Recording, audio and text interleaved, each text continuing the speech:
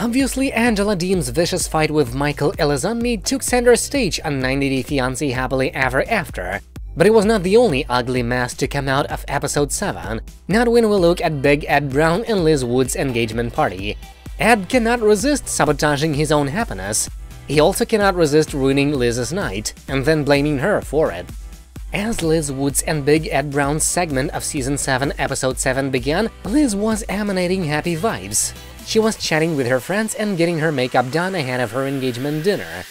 Liz didn't get to do this with her past two marriages. Now, at 29, she's having her moment, even if Ed's mother and daughter weren't coming. Liz and Ed arrived at the venue for their engagement party, looking the part of background criminals in a Batman movie. Wearing all white, Liz acknowledged that some of the guests might suspect a surprise wedding. Fortunately, it was not that, and Liz's grandmother had already vowed to make sure that it would not happen that way. Fans may feel a certain way about Big Ed based upon his on-screen behavior and the sexual misconduct allegations against him, but he clearly has a large circle of friends who like or at least tolerate him, and while multiple members of both sides of this relationship do not approve, a bunch came out to support them, to the camera, Ed compared himself to a blend of Danny DeVito and George Clooney. It's funny because we do have compared him to Danny DeVito, in that he thinks that he is the beloved actor, but his behavior better matches DeVito's It's Always Sunny in Philadelphia character, Frank Reynolds. There's no accounting for the Clooney thing, or for Liz's Jason Sudeikis comparison. Girl, no. Liz's mother Patty was there to support her daughter. She has real concerns, including the major age gap between Ed and Liz. But Patty told the camera that she has seen Ed support Liz, and she can accept this up to a point. Ed being Ed, he could not resist blurting out that he should not call Patty mommy because she is younger than I am. Many things are true. That does not mean that Ed should say all of these things out loud, but Big Ed Brown's on-brand antics had scarcely begun. Something that we did not see was that apparently a woman had an interaction with Liz. Allegedly, she grabbed Liz's arm during a dispute. Liz had security remove her. But either the cameras did not catch this, or the show is deliberately holding the footage in reserve. Maybe over a missing waiver, maybe to play at the tell-all, I don't know to be honest. For whatever reason, it's up to TLC's cards, Liz's description and Ed's description to fill us in. What we did get to see on our screens was Liz go in for a cozy moment with her fiancé. Ed, however, had other things twisting through his mind. There was no reason for Ed to interrogate Liz at the engagement dinner. If he truly had to question her, he could have done it at home. Either Ed couldn't stop himself from asking here and now, or he wanted to do it for the cameras on a mic. That, of course, has been a problem for them before. Either way, here is what Ed asked.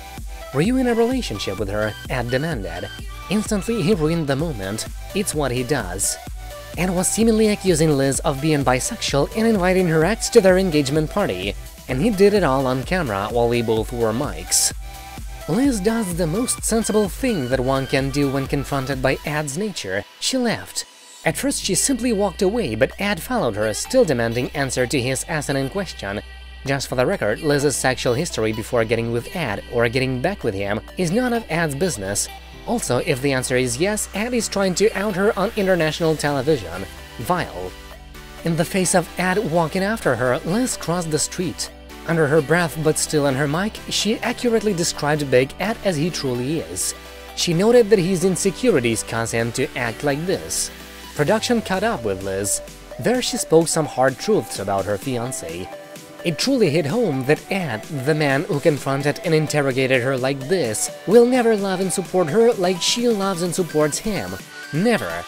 When Ed was finally able to get a hold of Liz on the phone, however, it was not to offer an apology. Instead, he berated her, accusing her of having ruined the entire evening for her own family and for their friends. Gross, dude. Unfortunately, Ed did not stop there.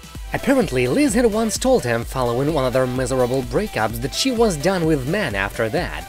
While that was clearly not the case as she got back with him, Ed seems to have felt haunted by the suspicion that she had dated a woman, possibly after that split. It's not his business, but he's not ignoring those insecurities, and he's making them her problem. Just as he previously interrogated Rosemarie Vega about her sexual history, he tells Liz that he wants to get to the bottom of this. Until Ed gets censor, he says the wedding isn't happening.